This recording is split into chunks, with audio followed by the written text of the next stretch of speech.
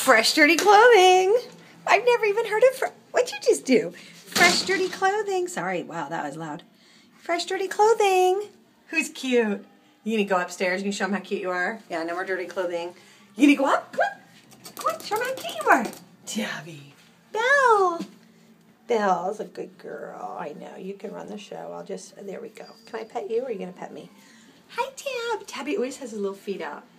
Hi, Tabbers. Oh, you love You're a lover.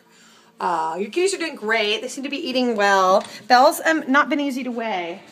Still a little feisty, but for the most part, happy.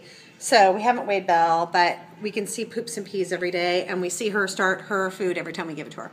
So not too worried about that. Um, and uh, but very squiggly when we put her on the scale. We just can't get an accurate read. That's a scoop, and there's Leo, super sweet neighbor. Hi, Leo. Kitty Mal.